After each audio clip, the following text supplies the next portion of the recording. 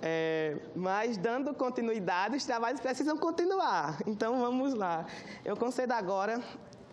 Ai, me ajuda aqui. Eu concedo agora a palavra ao ex-jovem senador da edição do programa de 2014, José Patrocínio Dantas Neto, do Rio Grande do Norte, é, o primeiro participante do programa a ser eleito para o mandato parlamentar. No pleito deste ano, ele foi eleito vereador em sua cidade, no Rio Grande do Norte. A cidade dele é Parelhas, melhor dizendo. Ô paraibano velho arretado. Boa tarde, excelentíssimo senhor presidente desta casa, o, senhor jovem Pedro Manuel. Meus parabéns pela expressiva votação de, de conseguir ser o presidente do Senado Jovem Brasileiro 2016. Eu estou aqui hoje com muito orgulhoso e com motivo de satisfação em ser o primeiro jovem senador do Brasil a ser eleito a um cargo público.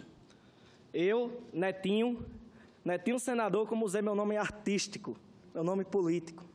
Um doidinho lá da Cobra, que eu moro no povoado Santo Antônio da Cobra, município de Parelhas.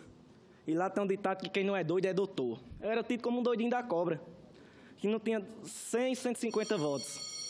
E eu tive 665 votos e agradeço aqui imensamente, imensamente ao povo da minha queridíssima cidade de Parelhas. E aqui também para falar, senhor presidente, da importância do projeto Jovem Senador.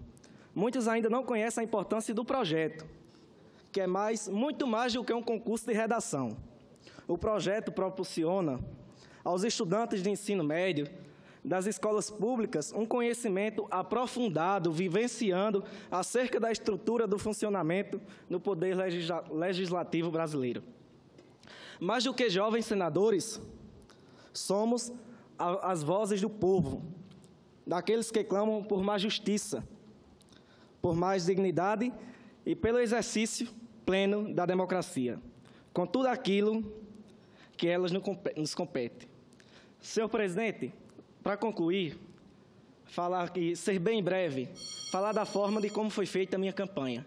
Pé no chão, eu sozinho, sem nenhum cabo eleitoral, fazendo corpo a corpo, passando de casa a casa.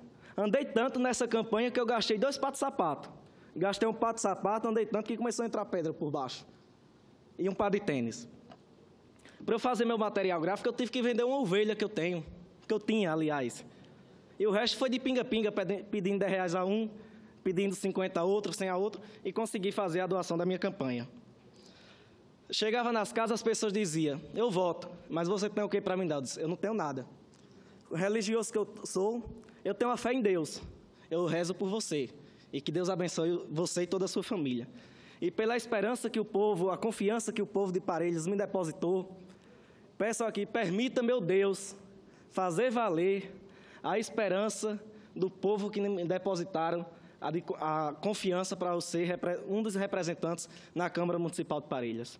Permita, meu Deus, fazer valer a esperança de Dona Lica, lá da cidade de Parelhas, uma senhora de 96 anos, que foi à urna depositar um voto de confiança a mim.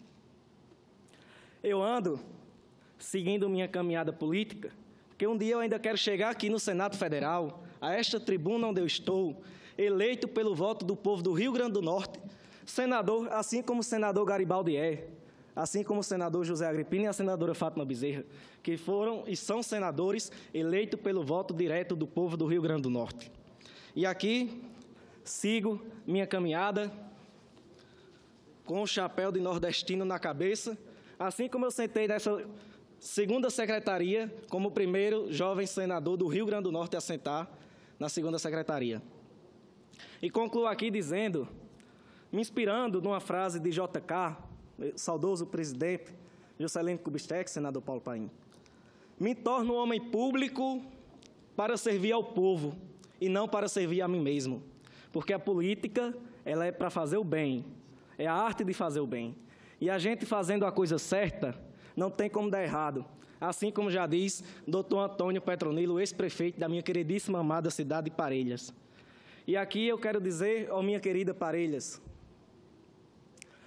quero dizer a você: para onde eu ando, eu te levo, em meu peito carrego as lembranças de ti.